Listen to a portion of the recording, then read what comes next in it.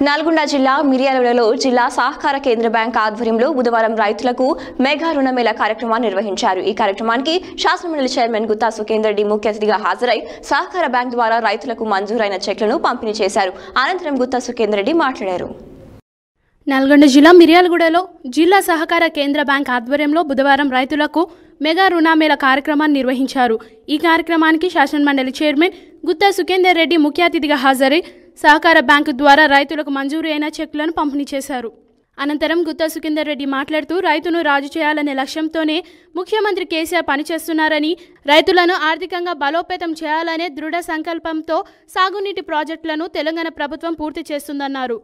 పాలమూరి Rangareddy project త్వరలోనే పూర్తి కాబోతుందని రైతులను ఆర్థికంగా ఆదుకునేందుకు తెలంగాణ ప్రభుత్వం రైతు బంధు పథకం ద్వారా సహాయం చేస్తుందని తెలిపారు. రైతులకు పెట్టుబడి సహాయం కొరకు సహకార బ్యాంకుల ద్వారా లోన్స్ ఇప్పిస్తుందని రైతుల బిడ్డలు వ్యాపారం చేసేందుకు సహకార బ్యాంకుల ద్వారా ఇరవై ఐదు పైసలకే మూడు లక్షల నుండి పది లక్షల వరకు రుణాలు ఇవ్వడం జరుగుతుందన్నారు. ఉత్తమ్ కుమార్ రెడ్డి కోమటిరెడ్డి వెంకటరెడ్డిలకు అసలు వ్యవసాయం అంటే ఏమిటో తెలియదని రైతుల కష్టాలు వాళ్ళకి ఎలా తెలుస్తున్నాయని ముఖ్యమంత్రి కేసీఆర్ ఆలోచనలను ఎప్పటికీ రైతులు స్వాగతిస్తూనే ఉంటారని కేసీఆర్ అంటే రైతులకు అంత భరోసా అని రైతులకు రుణాలు చెక్కులను అందించడం చాలా సంతోషంగా ఉందన్నారు. ఈ కార్యక్రమంలో MLA Bhaskarrao DCCB chairman Gongidi Mahender Reddy municipal chairman Thirunagar Bhargav DCCB bank సిబ్బంది పీఎస్సీ చైర్మన్లు రైతులు తదితరులు హాజరయ్యారు. ఏం ప్రగతిని సాధించినాం?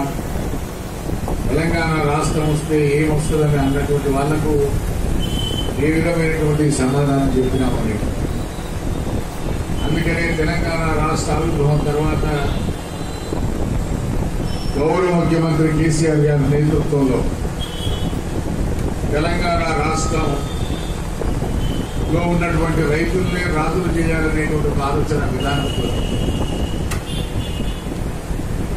ఒకవైపు రైతు బంధు కార్యక్రమం ఒకవైపు దాదాపు ముప్పై రెండు లక్షల మంది రైతులు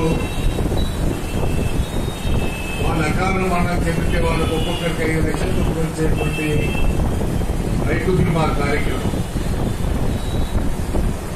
మరొక ఎన్నికల సందర్భంగా ఇచ్చినటువంటి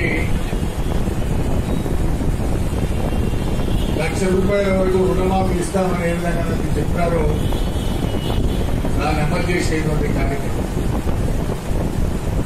అదేవిధంగా రెండు పంటలకు ఇచ్చినాం రైతు పండించినటువంటి ధాన్యం మొత్తం కూడా ప్రభుత్వమే కొనుగోలు చేయాలని ఒక ఆలోచనతోని ఇవాళ రాష్ట్రంలో యాభై ఆరు లక్షల టన్నుల వరి ధాన్యాన్ని సేకరించింది మొక్కజొన్న పండే ప్రాంతాల్లో మొక్కజొన్న కందులు పండే ప్రాంతంలో కందులు జొన్నలు పండే ప్రాంతంలో జొన్నలు కూడా